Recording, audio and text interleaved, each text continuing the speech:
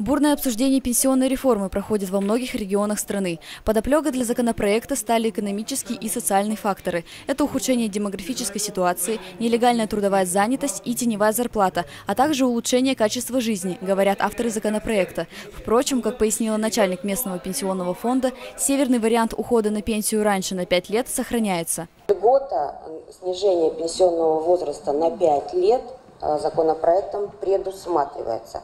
Мужчина будет уходить на пенсию в 65 лет, то если человек отработал при равных неместностях 20 и более лет, он будет уходить в 60 лет. Для женщин, в связи с тем, что общеустановленный возраст э, повышается на 8 лет, то есть, соответственно, мы минусуем эти 5 лет от 63. На встрече большинство общественников высказались однозначно против повышения трудоспособного возраста.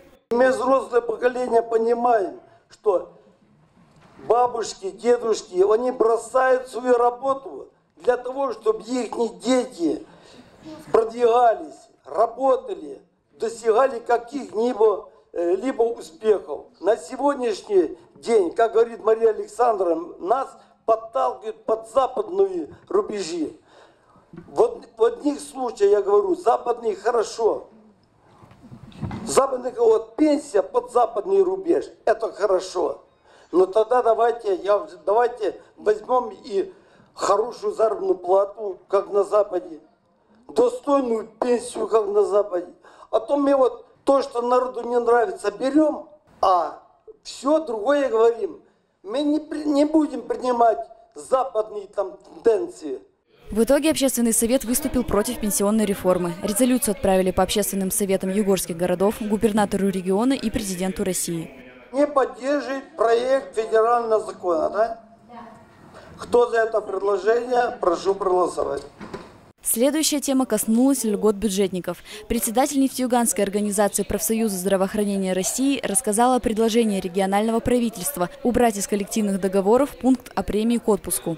Он дает сейчас право получения фонда оплаты труда, у кого-то два, у кого-то три, к отпуску. То есть это очень значимая сумма для нас, для северян, потому как мы находимся в неблагоприятных условиях, особенно здравоохранение и учителя.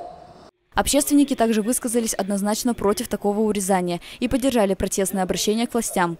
Также на заседании обсудили подготовку к грядущему отопительному сезону. Местные коммунальщики заверили, работы идут по графику, аварийных ситуаций не будет. София Гриценко, Денис Ефремов, телерадиокомпания «Юганск».